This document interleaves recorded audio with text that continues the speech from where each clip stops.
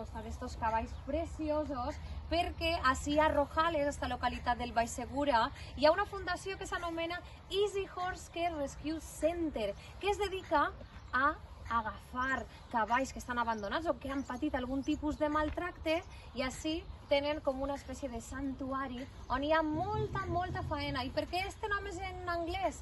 Perquè una parella de britànics va ser el que va començar tot això, el que, els que van fundar este, este centre. Així que hi ha molta feina per fer. Anem i continuem coneixent-lo.